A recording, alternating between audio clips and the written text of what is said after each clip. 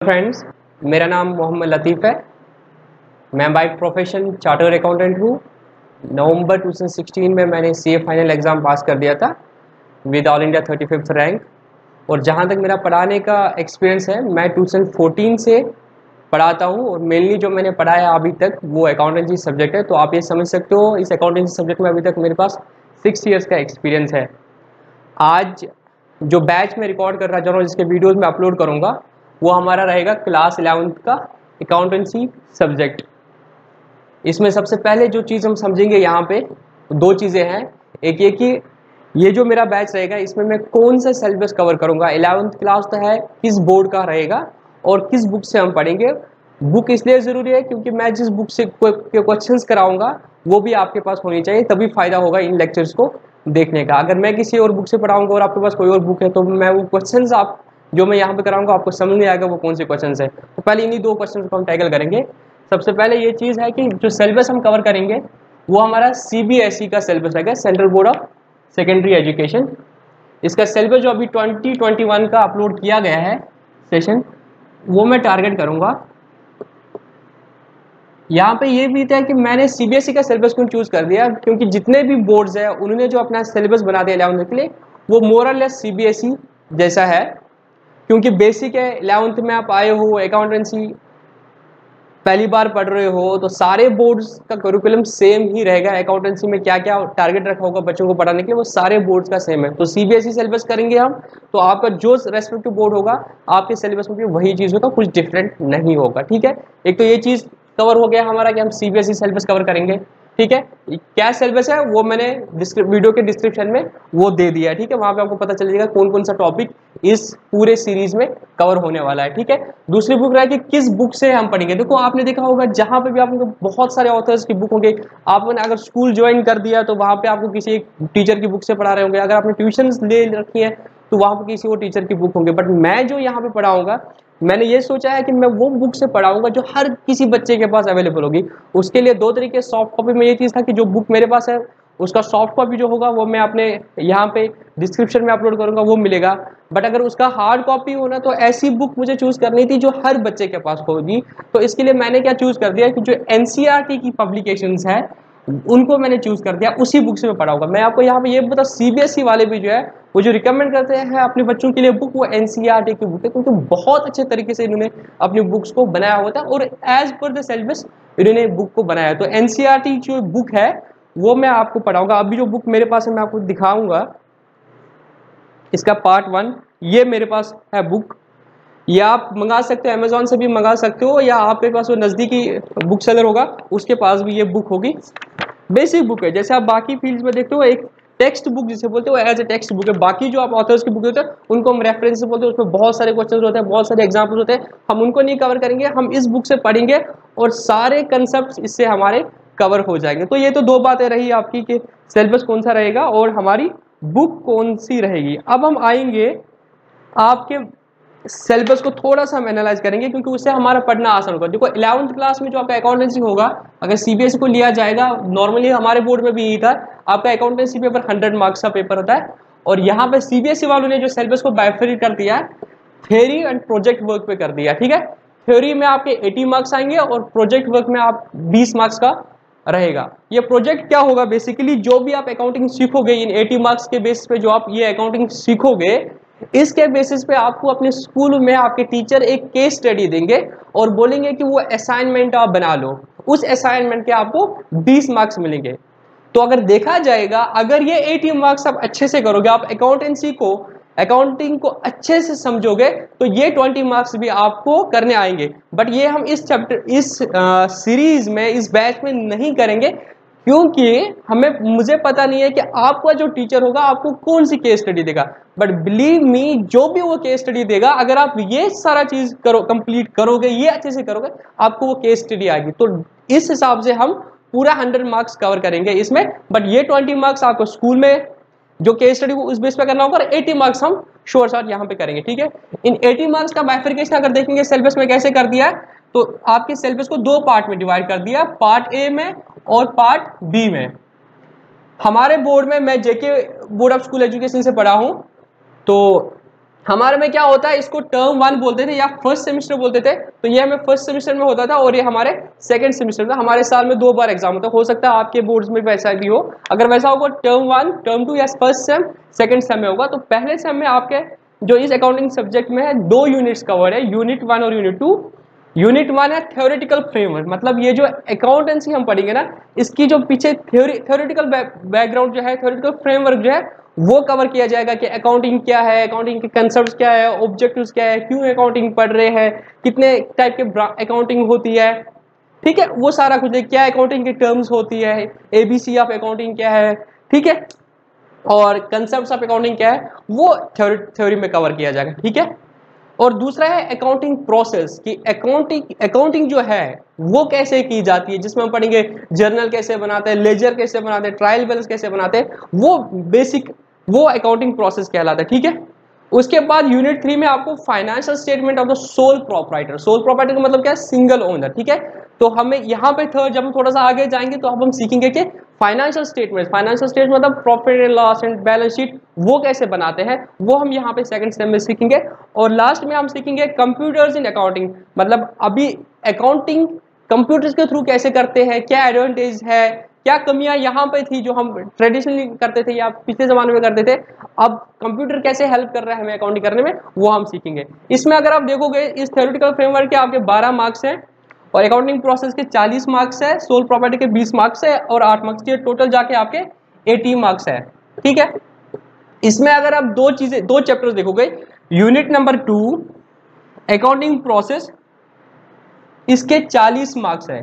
और financial statement soul प्रॉफिटर इसके साथ एक और टॉपिक है छोटा सा इनकम्प्लीट रिकॉर्ड्स का। इन दो, इसके 20 मार्क्स है। तो 40 वर्सेस 20 60 मार्क्स तो 60 मार्क्स तो यही दो यूनिट्स कवर कर रहे हैं और हमारा मेन फोकस भी इन्हीं चैप्टर्स पे होगा। सबसे ज़्यादा फोकस हमारा इस पे रहेगा, क्योंकि ये बेसिक है। जो अकाउंटिंग है ना, उसका बेसिक जो है, वो ये अकाउंटिंग प्रोसेस है। अगर आपको ये अकाउंटिंग प्रोसेस समझ में आ गया तो आप किसी भी लेवल की फिर अकाउंटिंग करते हो। कितनी भी कॉम्प्लिकेटेड अकाउंटिंग आपको आएगी, क्योंकि उसका जो बेसिक है बेसिक रूल है, वो हम यहाँ पे सीखेंगे, ठीक है? तो हमारा मेन फोकस इस पे रहेगा अकाउंटिंग प्रोसेस पे और जितना जल्दी हो सके हम कोशिश करेंगे हम अकाउंटिंग प्रोसेस पे आ जाएँगे। इसके बारह मार्क्स है तो बट हम वैसे ही नहीं करेंगे कि पहले इन थ्योरी को ही पढ़ेंगे, फिर जाके यहाँ पे आ गए थ्योरी से हम उतना ही पढ़ेंगे जितना हमें ज़रूरत होगा समझने की, फिर हम डायरेक्टली अकाउंटिंग प्रोसेस में आ जाए हमारा ये अकाउंटिंग प्रोसेस कवर हो जाएगा, उसके बाद हम थ्योरी पे आ जाएँगे और देखेंगे कुछ मत हमने छोड़ दिया, क्योंकि आप अभी, देखो इन द लॉन्ग रन अगर मैं आपको बताऊँगा ना, आपको ये काम आएगा खाली। इन द लॉन्ग रन में बोल रहा हूँ, आपको इस पूरे आपके इसमें जो करिकुलम में दिया है, सिर्फ़ ये चीज़ काम आ जाएगी। इन द लॉन्ग रन में आपको क्या बोल रहा हूँ, देखो जब अभी आपने कॉमर्स लिए ना, आपने कॉमर्स ली, कुछ सोच समझ के लिए टेंथ तक आपके पास ये चॉइस नहीं थी कि आप कोई भी सब्जेक्ट चूज़ करो। टेंथ तक आपको एक ब्रॉड बेस्ड नॉलेज दी, जो भी आपके फ्रेंड्स थे, जिन्होंने साइंस स्ट्रीम चूज़ कर दी आर्ट्स स्ट्रीम चूज़ कर दी, उन सबको सेम नॉलेज दी थी। बट यहाँ पे आपको ऑप्शन है कि आपको एक राइट दिया गया कि आप चूज़ करो कि आपको कहाँ जाना है। तो आप लोगों ने कॉमर्स स्ट्रीम चूज़ कर दी, जिसमें आप अकाउंटेंसी पढ़ रहे हो। अगर आपने कॉमर्स चूज़ कर दिया है इट मीन्स आपके कुछ प्लान्स है, आपको फाइनेंशियल मैटर्स में इंटरेस्ट है, तभी तो आपने कॉमर्स चूज़ कर दिया। फाइनेंशियल मैटर्स में अगर आपका इंटरेस्ट है मतलब आपने कुछ सोचा होगा, मैं मैं अपने कैरियर में क्या करना चाहता हूँ? अगर मोस्टली क्या करते हैं? सी कॉमर्स लेके सी ठीक है? और क्या है? आप बोल के मुझे बिज़नेस चलाना है तो आप बीबीए एमबीए करोगे, ठीक है, या एचआर में जाना है आपने, ठीक है? और क्या होता है? सीएस मतलब कॉमर्स का मैं अगर मैं आपको बताऊँगा कि कॉमर्स में क्या क्या फील्ड्स आगे जिसमें आप जाओगे क्योंकि आपके कॉमर्स में कोई ना कोई ये चीज़ होगा। या तो आपने डिसाइड किया होगा आपको सी बनना है, या आपने हमने डिसाइड किया होगा कि हमने बीबीए उसके बाद एमबीए करना है। या तो आपने बोला कि मुझे सीएस बनना है, या तो आपने बोला कि मुझे कॉस्ट अकाउंटेंट बनना है, या तो आपने बोला मुझे सीएफए बनना है, ठीक है? ये सारी चीज़ें आपने बोली, सोची होगी कि नहीं? या बी कॉम एम कॉम उसके बाद पीएचडी ये सब कुछ करना होगा। बेसिकली इन सब चीज़ों को लेके बिज़नेस जो बिज़नेस के कंटेक्स में काम आती है, वो आपने चूज़ करती है। और इन सब कोर्सेज को लेके एक सब्जेक्ट है जो सब में कॉमन है और एक सब्जेक्ट है जो कोर है इसका, जो core subject of commerce field है, वो अकाउंटेंसी है, ठीक है? और उसमें मैं आपको बता रहा हूँ कि आगे जब तुम जब मैंने बोला कि आगे जब आप जाओगे तो आपको सिर्फ़ इलेवंथ में से ये चैप्टर काम आ जाएगा। थ्योरी में भी कुछ चीज़ें हैं जो आपको कंसेप्ट में काम आ जा कंसेप्चुअली काम आएँगे आगे कुछ है वो अगर 12 मार्क्स होगी तो 12 में से पाँच छह मार्क्स बोलूँगा वैसे है। हम सारा करेंगे बट पहले हम इस अकाउंटिंग प्रोसेस में इस अकाउंटिंग प्रोसेस को हमें बहुत अच्छे तरीके से समझा क्योंकि आगे जाके, मैं आगे जाके बोलूँगा, अगर आपको सीए करना है तो सीए में आप इलेवंथ के बाद ट्वेल्थ करोगे तो वहाँ पर भी आपको अकाउंटिंग में काम आएगा ये अकाउंटिंग प्रोसेस फिर सीए का फाउंडेशन वहाँ पर भी आपको काम आएगा। सीए के इंटर में भी अकाउंटेंसी है सीए के फाइनल में भी अकाउंटेंसी है, फिर आप जॉब में जाओगे तो वहाँ पे भी अकाउंटेंसी है। तो इसको समझने के लिए, समझना बहुत ज़रूरी है कि अकाउंटिंग कैसे करते हैं, क्या इसके बेसिक रूल्स है, उनको समझने की ज़रूरत है। तो जितना जल्दी हो सकेगा हम इस अकाउंटिंग प्रोसेस पे आ जाएँगे, ठीक है? तो यहाँ पे मैंने ये भी बताया कि आपके क्या क्या प्लान हो सकते हैं, ठीक है? ये बेसिक चीज़ रही, ठीक है? तो इस अकाउंटिंग प्रोसेस को करेंगे, उसके बाद हम थ्योरी पे आ जाएँगे। तो ऐसे हमारा पार्ट वन कंप्लीट हो जाएगा। उसके बाद हम पार्ट टू पे आ जाएँगे कि प्रोपरेटरशिप के सोल प्रॉपर्टरशिप के फाइनेंस स्टेटमेंट के समय और हम फिर देखेंगे कि आजकल के ज़माने में कंप्यूटर्स कैसे हेल्प करते हैं हमें अकाउंटिंग करने में, ठीक है? पहले हमें क्या, पहले दिक्कतें कहाँ कहाँ पे आ रहे हैं तो उनको कैसे ओवरकम कंप्यूटर्स ने किया है, वो हम पढ़ेंगे। इस तरह से हमारा सिलेबस कंप्लीट हो जाएगा, ठीक है? ये बेसिक मैंने आपको बता दिया आपके सिलेबस को। तो अब हम अकाउंटिंग के पास आ जाएँगे कि, अब हम अकाउंटिंग का इंट्रोडक्शन दे देंगे, ठीक है? पहले हम इसको रब कर ले। तो ये क्लियर हो गया। हमारा सिलेबस सीबीएसई का रहेगा, ठीक है? मोरल लेस हमेशा यही रहेगा, ठीक है? और जो मोरल लेस हमेशा यही रहेगा मतलब कि अभी अगर मैं रिकॉर्ड कर रहा हूँ तो आप अगर दो साल, तीन साल बाद देख रहे होगे, तब भी ये आपके लिए रिलेवेंट होगा, ठीक है? सिर्फ़ क्या करना है, इसके डिस्क्रिप्शन में जो लिंक दिया होगा सिलेबस का, वो डाउनलोड कर देना और कंपेयर कर देना उस वक्त आपका यही सिलेबस है कि नहीं है, ठीक है? तो इन दो चीज़ों को मैं रब कर लेता हूँ।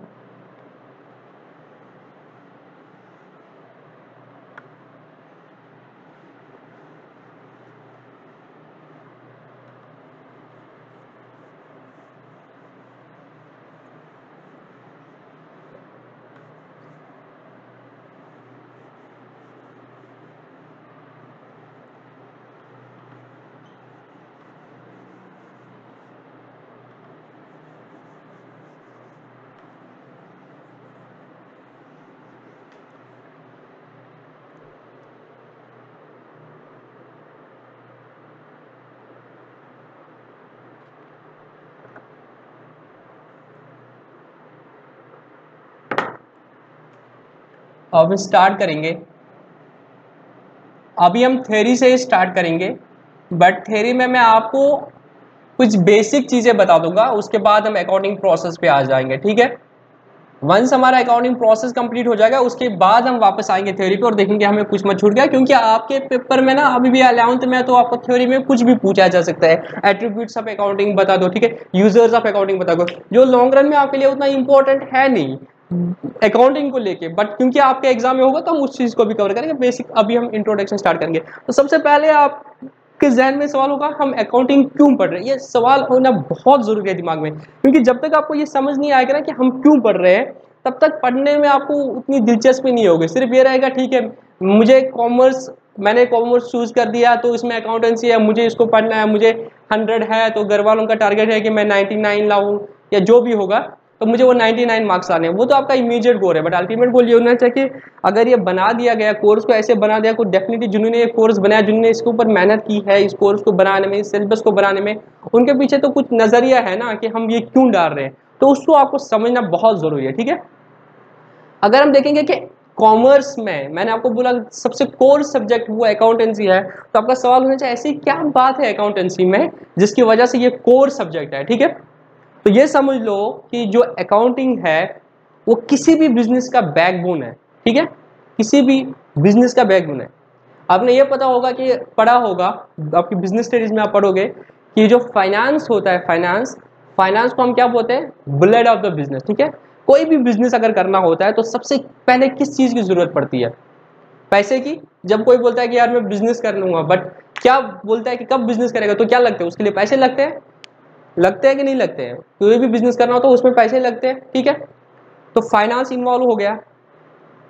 अब अकाउंटिंग में हम क्या करते हैं? हम इस पैसे का हिसाब करते हैं। पैसा हिसाब करना कितना ज़रूरी है? अगर पैसे का हिसाब नहीं रखेंगे तो कुछ पता नहीं चलेगा कि हम जो ये बिज़नेस कर रहे हैं, हमें फ़ायदा हो रहा है या नुकसान हो रहा है। किससे कितना पैसा लेना है, किसको कितना पैसा देना है, इस सबका तो हिसाब रखना पड़ेगा ना। मैंने किससे कितना उधार लिया है, ठीक है? ये हम नॉर्मली अपने घर में भी करते हैं, अपने नॉर्मल लाइफ में भी कर ले। बट अकाउंटिंग जब हम करेंगे, जब हम इस अकाउंटिंग वाली सब्जेक्ट को चढ़ेंगे तो हम क्या करेंगे? इस हिसाब रखने को हम सिस्टमेटिक वे में पढ़ेंगे, ठीक है? तो हमने अभी तक क्या समझा कि अकाउंटिंग बहुत ज़रूरी है किसी भी बिज़नेस बिज़नेस के लिए, ठीक है? एक तो बेसिक चीज़ यही है कि उसको अपना हिसाब रखना है किसी भी बिज़नेस को। एक छोटे से छोटा दुकानदार क्यों ना हो, एक बड़ा एक बड़े कंपनी क्यों ना हो, हर बिज़नेस को अपना हिसाब तो रखना पड़ेगा। एक तो अपने लिए रखना पड़ेगा। अपने लिए इसलिए रखना पड़ेगा कि उसको पता चले कि मेरा प्रॉफिट हुआ है, कि लॉस हुआ है, और मेरी फाइनेंशियल पोजीशन क्या है, मेरे पास एसेट्स कितने हैं, मेरी लाइबिलिटीज कितनी है। ये जो मैं टर्म्स बोल रहा हूँ एसेट्स लाइबिलिटीज शायद अभी आपको पता नहीं होगा बट आज या कल का बैच के बाद लेक्चर के बाद आपको पता होगा कि इस सब का माने ठीक है? अगर पता होगा तो वेल एंड गुड अगर नहीं पता तो घबराने की बिल्कुल बात नहीं है, ठीक है? मैं ये वर्ड्स बता रहा हूँ आपको तो तो आप जहन में ये चीज़ डालना चाहता हूँ, ठीक है? तो मैं क्या बोल रहा हूँ कि बिज़नेस को अपने लिए बहुत ज़रूरी जानना है कि उनका प्रॉफिट हुआ है या नुकसान हुआ है। और अगर आगे देखा जाए तो और किसके लिए ज़रूरत है? अगर उनको किसी भी बैंक से लोन लेना है तो बैंक वाला बोलेगा उनको कि मैं आपको लोन दूँ या नहीं दूँ, मैं जानना चाहता हूँ कि आपके फाइनेंशियल्स क्या है, आपकी कंपनी के एसेट्स कितने लाइबिलिटीज क्या, आपकी पोजीशन क्या है, आपकी परफॉर्मेंस क्या है तो वो कब पता चलोगा जब हमने उसकी उसकी अकाउंटिंग की होगी, ठीक है? तो उसके लिए ज़रूरत पड़ेगी, ठीक है? और कहाँ पे ज़रूरत पड़ेगी? जिस कंट्री में आप रहते हो, जैसे हम इंडिया में रहते हो तो हमें क्या होता है, हमें अपनी इनकम पे टैक्स देना पड़ता है, इसीलिए बिजनेसमैन को टैक्स देना पड़ेगा। अगर कंपनी है तो कंपनी को टैक्स देना पड़ेगा।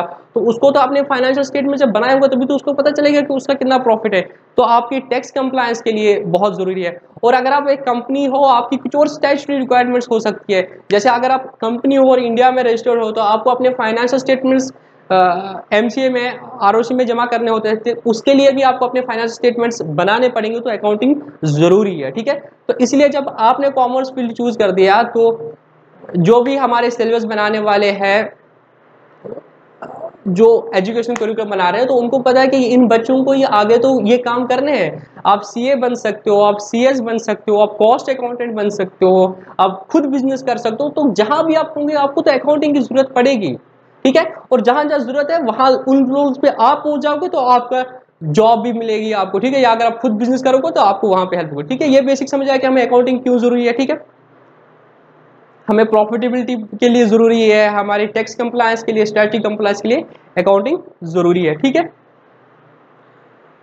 ये बेसिक हो गया, ठीक है?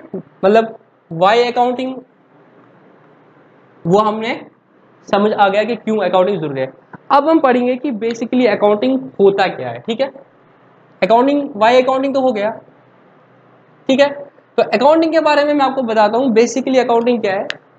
जो हम हर कोई करता है बट हम हेफाजर्ड मैनर में करते हैं, कोई हार्ड एंड फास्ट रूल नहीं नहीं होता है। अभी तक भी तुम अकाउंटिंग करते आए होंगे, कर रहे होंगे। आपके घर में मम्मी पापा अपने हिसाब से अकाउंटिंग कर रहे हैं। बट हम जो अकाउंटिंग पढ़ेंगे, वो सिस्टमेटिक वे में अकाउंटिंग करें। आप कैसे अकाउंटिंग करते हो? अकाउंटिंग करना आप समझ लो कि अपना हिसाब रख लेना, ठीक है? आपको पापा ने हज़ार रुपया दे दिया था, ठीक है? तो आपको ये उम्मीद है कि पापा पूछ लेंगे कि हज़ार रुपये को क्या कर दिया? तो आप उस हज़ार रुपये का हिसाब रख लेते हो, ठीक है? या आपको घर वाले ने कहीं सामान भेजने दिया तो आप उसका हिसाब रखते हो, उसको ये लाया दो सौ में ये कॉपी लाई, तीन सौ का ये कैलकुलेटर लाया, ऐसा कुछ करके लाया, ठीक है? तो आठ सौ मेरे पास, दो सौ मेरे पास बचे हुए ऐसा चीज़ है, ठीक है? आपके पापा हिसाब रखते हैं, अगर वो सैलरीड है तो वो रख लेते हैं हिसाब की, किस दुकानदार को कितने पैसे देने हैं, ठीक है? वो इस तरह मम्मी आपकी हिसाब रखते हो, दूध वाले को इतना तो हर कोई अपने हिसाब से हिसाब रखता है। आप खुद अगर आपका दोस्तों के बीच में उधारी चलता है तो किससे कितना लेना है? तो बट वो हेफाजत में कॉपी के किसी पेज में लिखा होता है, ऐसे करके, या अपने नोट्स में लिखा रखा होता है कि डेटर मेरा को किससे लेना है, या किसका कितना खर्चा होगा तो ऐसे रख लेते हैं। बट जब अकाउंटिंग पढ़ेंगे तो यहाँ पे हम सिस्टमेटिक वे पे इसी हिसाब को बिज़नेस के हिसाब को बिज़नेस की जो ट्रांजेक्शन होती है, उनको हम कैसे उनका कैसे हम हिसाब रखेंगे ताकि हम एट द एंड बता पाए कि हमारी कंपनी में, हमारे बिज़नेस में फ़ायदा हुआ है या नुकसान हुआ है और हमारी पोजिशन क्या है, उसको हम, उस पर हम अराइव करें, ठीक है? तो सबसे पहले बात जो मैं आपको बताऊँगा अकाउंटिंग के बारे में वो ये है। अब क्यूरियासिटी तो बढ़ती होगी आपकी जो ही आपने कॉमर्स ज्वाइन किया होगा और अकाउंटेंसी पढ़नी होगी तो क्यूरियासिटी कुछ होगी आपको तो मैं बेसिक दो चीज़ें आपको बताऊँगा अकाउंटेंसी के बारे में। दो बेसिक चीज़ें मैं आपको बताऊँगा जिसकी वजह से आप, अगर आप में से किसी को ये डर होगा तो उसका डर दूर हो जाएगा। पहली बात यह है कि आपको अकाउंटिंग के लिए ना बेसिक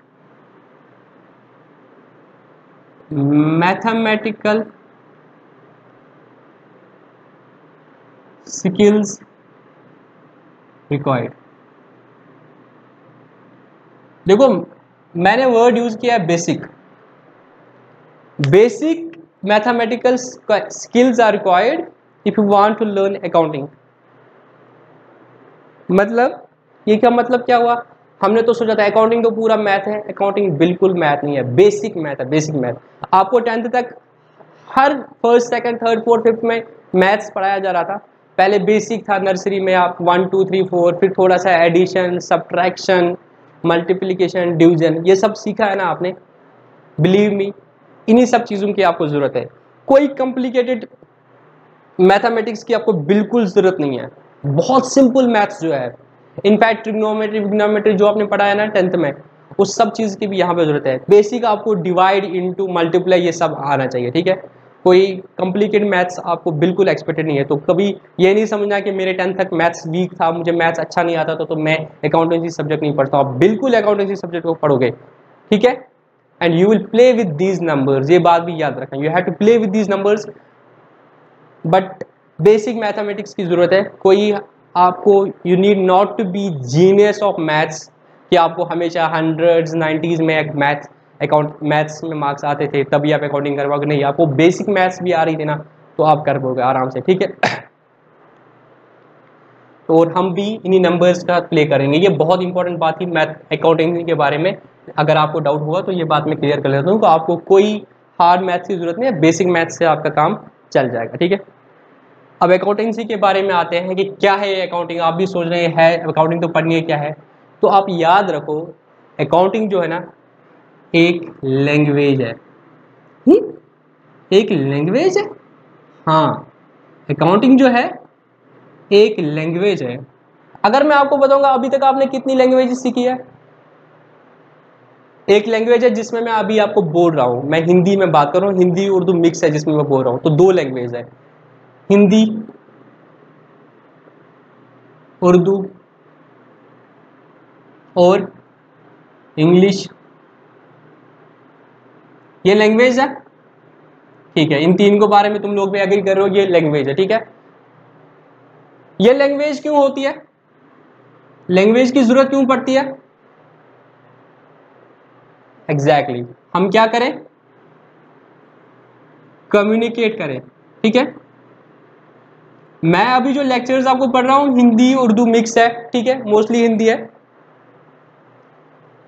ताकि मैं आपको अकाउंटेंसी पढ़ाना चाह रहा हूँ, आप अकाउंटेंसी समझना चाह रहे हो। तो हमने एक कॉमन लैंग्वेज चूज़ कर दी, हिंदी, क्योंकि आपको भी हिंदी समझ आती है, मुझे भी हिंदी समझ आती है, ठीक है? मुझे बोलनी आती है, आपको आपको भी बोलनी आती है और आपको समझ आती है, ठीक है? तो दोनों चीज़ें ज़रूरत है। जो मैं बोल रहा हूँ, वो आपको समझ आनी चाहिए, ठीक है? तो ये इसका मदद हमें कौन देती है? लैंग्वेज देते हैं, ठीक है? हिंदी, उर्दू उर्दू इंग्लिश ठीक है? और कोई एग्ज़ाम्पल लैंग्वेज की? मैथमेटिक्स। मैथमेटिक्स भी एक लैंग्वेज है, ठीक है?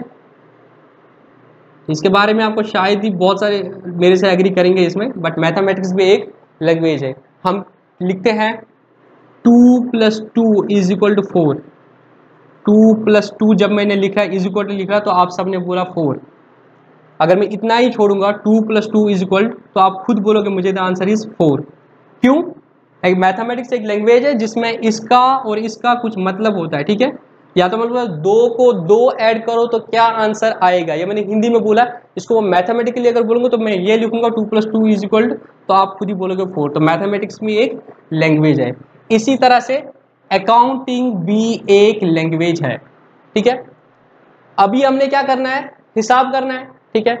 तो एक तरीका तो हिसाब का ये भी था, मैं अपनी लैंग्वेज में पूरा लिख लेता है, लिख लेता है। सपोज़ इसके लिए ना सबसे पहले आप समझ लो अकाउंटिंग अगर आपको समझनी है ना तो अपने आप को ना किसी भी बिज़नेस का, ठीक है, मैं आपको अभी पढ़ा रहा हूँ ना, मैं आपको बोल रहा हूँ कि आपको मैंने एज एन अकाउंटेंट मेरे बिज़नेस में रख लिया, ठीक है? मेरा एक अपना बिज़नेस है रेडीमेड गारमेंट्स का, ठीक है?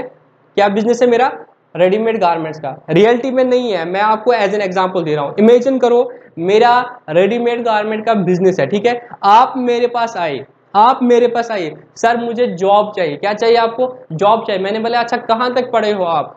कहाँ तक पढ़े हो आप? आप बोले, सर, हमने टेंथ तक पढ़ा है, ठीक है? ठीक है, आपको, मैं, देखो, ये सारी एग्ज़ाम्पल हाइपोथेटिकल सिर्फ़ आपको अकाउंटिंग समझाने के लिए, ठीक है? तो मैं आपको यहाँ तक रिस्ट्रिक्ट नहीं कर रहा हूँ, आपको बहुत आगे जाना है, ठीक है? बट समझ लो कि मेरे पास एक रेडीमेड गारमेंट की शॉप है, ठीक है? और आप बोले कि मुझे जॉब चाहिए, मैंने बोला, आपको क्या आता है? आप बोले कि अभी तो टेंथ से पास आउट है, ठीक है? मैंने बोला, ठीक है, मेरे पास अकाउंटेंट की जो मेरा अकाउंटेंट है ना अभी यहाँ पे, ये पाँच छः महीने बाद जा रहा है। तो अगर आपको जॉब करनी है तो आप पाँच छः महीने यहाँ पर रहो, ये आपको सिखाएगा, उसके बाद आप करोगे। आप बोले, सर, ठीक है पाँच छः महीने में यहाँ पे काम कर सकता हूँ, ठीक है? अब इमेजिन करो आप उसके अकाउंटेंट हो, ठीक है?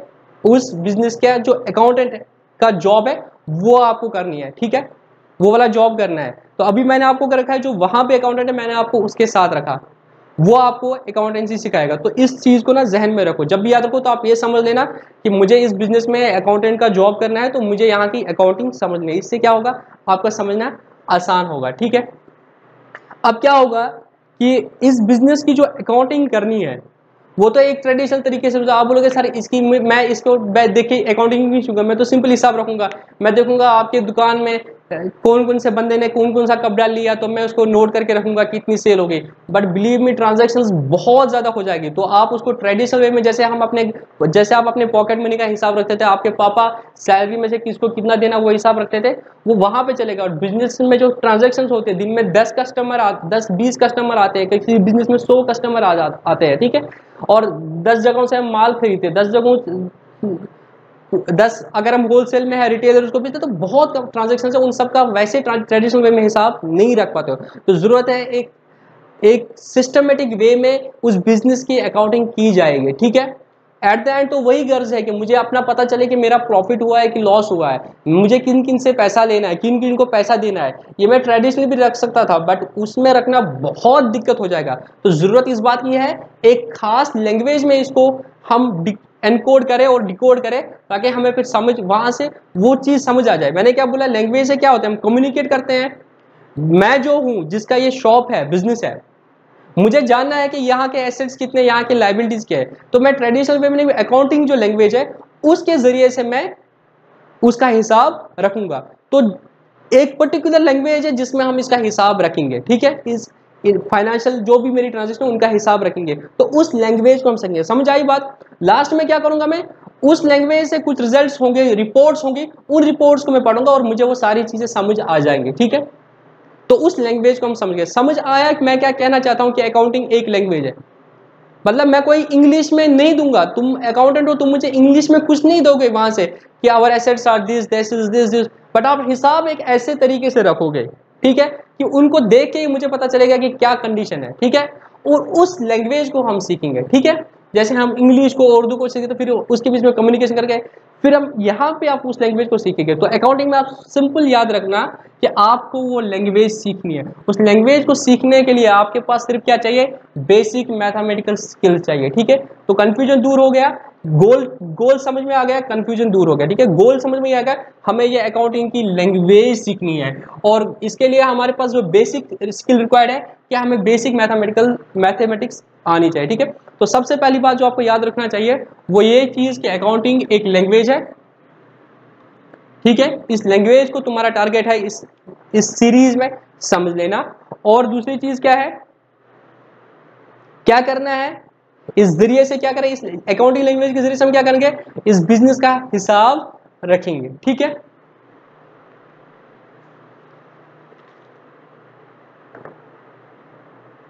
अब मैं आपको प्रोसेस बताऊँगा कि कैसे अकाउंटिंग करते हैं, ठीक है?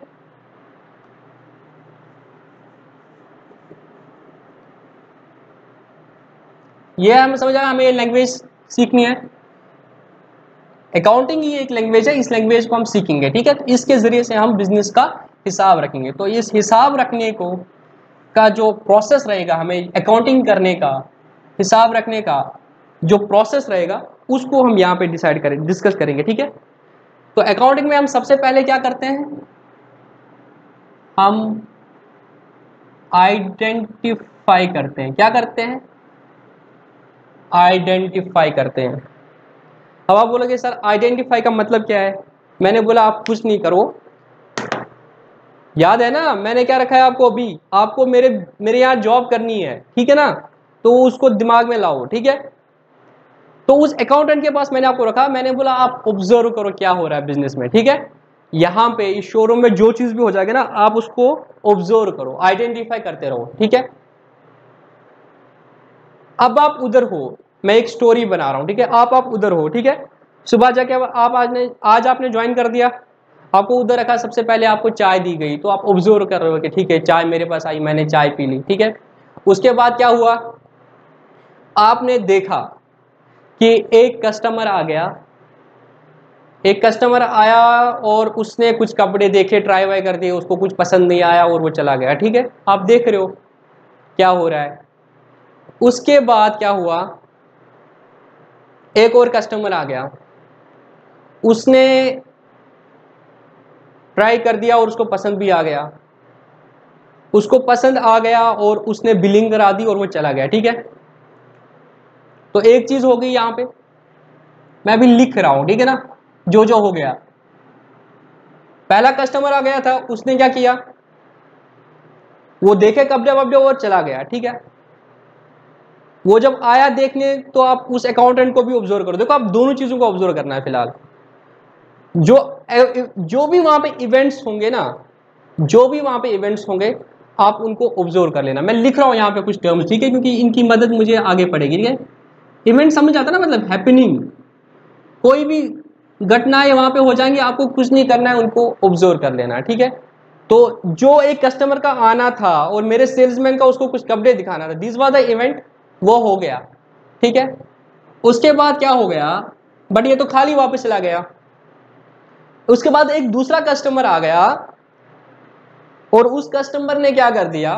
उस कस्टमर ने क्या कर दिया? उसने परचेज कर दिया, ठीक है? उसने कपड़े पसंद आ गए, उसने बोला, ठीक है, इनको बिलिंग कर दो, और उसने वो ले लिए, ठीक है? तो क्या होगी? हम, मेरी मतलब बिज़नेस की और बंदे के बीच में ट्रांजैक्शन हो गई। अच्छा तुम में से कोई बोल रहा है, सर सेल हो गई हमारी। ठीक है, मैं लिख रहा हूँ सेल हो गई। ठीक है ना? हमारी तो सेल हो गई ना, क्योंकि मेरा सेल्समैन बोल रहा है, सर, इस सेल में ना मेरा नाम लिख लिया, क्योंकि उनको कमीशन मिलती है। ठीक है? सेल हो गई। उसके बाद क्या हुआ? आज के दिन में यही होता रहा। कुछ कस्टमर आ गए, उनको पसंद आ गया, उन्होंने खरीद लिया। ठीक है तो हमारी सेल हो गई बिज़नेस की। और कुछ आए, उनको पसंद नहीं आया, वो ऐसे ही चले गए। ठीक है, और क्या हुआ? अगले दिन तुम आ गए और इसी तरीके से एक महीना हो गया। ठीक है, और एक महीने बाद पे क्या हुआ? तुमने देखा, जो अकाउंटेंट है, वहाँ के जो स्टाफ है, उनको सैलरीज दे रहा है। ठीक है और बीच में आपने ये भी देखा कि हमारा माल खत्म हो रहा था, ठीक है? जो हमारा माल है, ठीक है? जो वहाँ पे पड़ा है, जिसको हम क्या बोलते हैं? स्टॉक बोलते हैं। क्या बोलते हैं? स्टॉक बोलते हैं। और क्या बोलते हैं उनको? गुड्स बोलते हैं, ठीक है? वो खत्म हो गया था। तो हमने क्या किया था? तुमने देखा इस अकाउंटेंट ने ऑर्डर दिया था। तो उस तो बिज़नेस ने क्या किया था? परचेज किया था। हमने खरीदा था। ठीक है? और तुमने देखा था कुछ एक्सपेंसेस हो रहे हैं। कुछ एक्सपेंसेस हो रहे हैं। ठीक है? हम चाय पीते हैं वहाँ पे तो चाय के लिए हम होटल वाले को पैसे देते हैं। इस बिज़नेस का रेंट देना पड़ रहा है हमें। इलेक्ट्रिसिटी बिल पे करना पड़ रहा है। ये सारा चीज़ हो रहा है ना? तो इन सबको क्या कर रहे हो? ऑब्ज़र्व कर रहे हो। ठीक है? तो अब तुम्हें क्या करना है? अकाउंटिंग करनी है। क्या करनी है? अकाउंटिंग करनी है। तो जब तुम्हें अकाउंटिंग करनी है, तुम तो इन सब चीज़ को ऑब्ज़र्व कर रहे हो वहाँ पे। मतलब बिज़नेस में जो कुछ भी हो रहा है, तुम उसको क्या कर रहे हो? ऑब्ज़र्व कर रहे हो। अब तुम्हें क्या करना है? अकाउंटिंग करनी है। तो अकाउंटिंग जब आप करोगे किस किस चीज़ की अकाउंटिंग करोगे? सबसे पहली चीज़ जो आपने आइडेंटिफाई करना है। आइडेंटिफाई क्या करना है?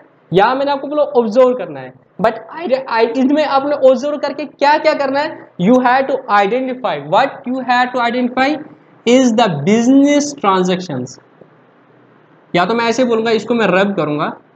You have to identify the transactions of the business तो सबसे पहली चीज़ आपको क्या करना है? जो भी ट्रांजेक्शन्स होंगी इस बिज़नेस में, जो भी ट्रांजेक्शन्स होंगी इस बिज़नेस की, उनको तुम्हें आइडेंटिफाई करना है। क्या करना है? आइडेंटिफाई करना है। ठीक है? अब मैंने वर्ड यहाँ पे किया ट्रांजैक्शन क्या किया वर्ड यूज़ ट्रांजैक्शन ठीक है? तो हम समझेंगे ट्रांजैक्शन क्या होती है। ठीक है? और मैंने यहाँ पे स्पेसिफिक यूज़ की क्या वर्ड बिज़नेस मतलब यहाँ पे देखो, जो शोरूम है ना, जो मेरा शोरूम है रेडीमेड गारमेंट्स का, वो मेरा बिज़नेस है। तो उसकी जितनी भी ट्रांजेक्शन होगी, उनको मुझे आइडेंटिफाई करना है। अकाउंटिंग के लिए सबसे ट्रिगरिंग पॉइंट क्या रहेगा? ट्रांजेक्शन रहेगा। क्या रहेगा? ट्रांजेक्शन देखो, सबसे पहले मैंने क्या लिखा? इवेंट इवेंट का मतलब क्या होता है? हम बोलते हैं ना, वहाँ पे ये इवेंट होने वाला है, ठीक है? इवेंट मैनेजमेंट जो इवेंट्स को ऑर्गेनाइज करते हैं, ठीक है? किसी भी हैपनिंग को हम क्या बोलते हैं? इवेंट ठीक है ना? तो कोई भी चीज़ अगर बिज़नेस में हो जाएगा, उसको बोलते हैं इवेंट वो बंदा आ गया, उसने मेरे सेल्समैन को बोला, मुझे कपड़े दिखा दे। दैट्स एन इवेंट उनके बीच में मतलब बहस हो गई नहीं, तुम महँगा दे रहे हो, नहीं, ये दिखा दो, वो दिखा दो। वो सारे इवेंट्स है। बट उनकी अकाउंटिंग करेंगे हम? नहीं, उनकी अकाउंटिंग नहीं करेंगे, ठीक है? अकाउंटिंग सिर्फ़ किन की होगी? उन इवेंट्स की which will lead to transaction क्या? ट्रांजेक्शन ठीक है? ट्रांजेक्शन में क्या होगा? गिव एंड टेक होगा। क्या होगा?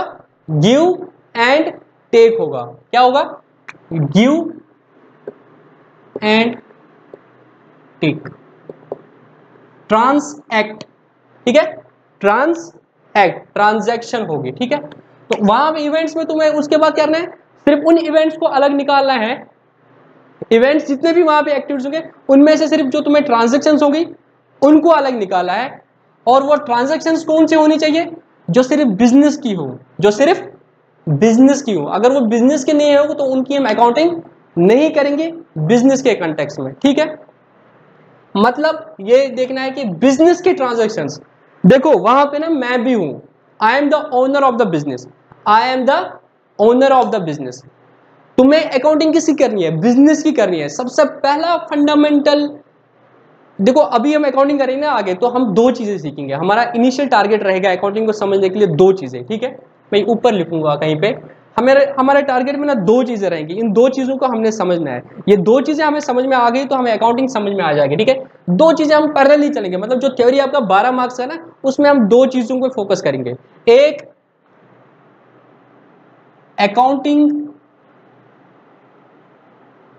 टर्म्स और दूसरा अकाउंटिंग कंसेप्ट इस लैंग्वेज को हमें समझ, समझना है ना? इस लैंग्वेज को हमें समझना है। जब तुम किसी भी लैंग्वेज को समझते हो, जब इंग्लिश समझे थे, सबसे पहले क्या समझा रहे थे ना? A B C D E F ठीक है लेटर्स समझा रहे थे। उसके बाद आपको पता रहेगा A for apple B for boy C for cat ये समझा रहे थे ना? ये वर्ड्स थे। ये वर्ड से जब तुम हो गए, फिर तुम्हें एक सेंटेंस बनाना पड़ा और बनाना आ गया और वो सेंटेंस बनाना आ गया तो तुम्हें इंग्लिश आ गई। ऐसे हिंदी हिंदी में भी तुम पहले जब बच्चा पैदा होता तो थोड़ा थोड़ा मम्मा, पापा ऐसे ऐसे वर्ड सीखता है। उसके बाद उसको बहुत सारे वर्ड्स आते हैं और वो उस लैंग्वेज को बोल पाता है। इसी तरीके से अकाउंटिंग लैंग्वेज को समझने से पहले के लिए ज़रूरत क्या है? हम अकाउंटिंग के उन टर्म्स को समझेंगे जिसके बेस पे लैंग्वेज बनती है, ठीक है ना? तो उन टर्म्स को हम सीखेंगे, उन लैंग्वेज जिन जिन वर्ड्स से बनती है, उन वर्ड्स को हम समझेंगे, ठीक है? तो हमारा पहला गोल रहेगा, हम इन क्या करेंगे?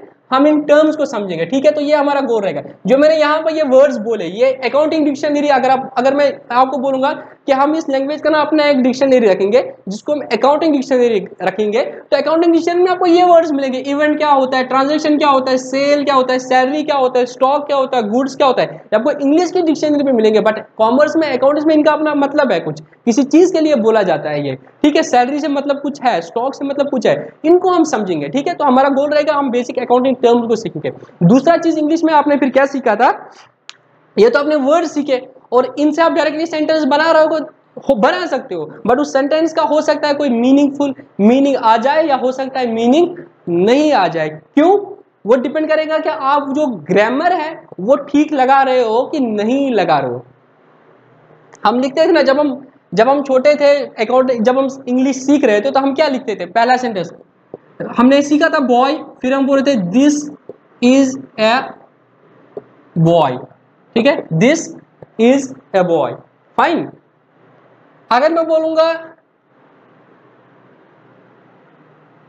ए बॉय इज़ दिस इसका कुछ मतलब निकला? नहीं निकला ना। वर्ड्स तो वही थे बट मैंने इनको प्लेस गलत जगह पे कर दिया तो इनका कोई मतलब नहीं निकला। तो हमें यहाँ पे समझ आ गया कि अगर मुझे इंग्लिश लैंग्वेज सीखनी है तो मुझे इंग्लिश का ग्रामर भी सीखना है। अगर मुझे इंग्लिश का ग्रामर गलत हो गया तो मुझे इंग्लिश नहीं आएगी। मुझे इंग्लिश नहीं आएगी। तो यहाँ पे हमें क्या सीखना है? अकाउंटिंग का जो ग्रामर सीखेंगे अकाउंटिंग के जो रूल्स सीखेंगे हम कि किस बेस पे अकाउंटिंग होगी डेबिट क्रेडिट वो भी है।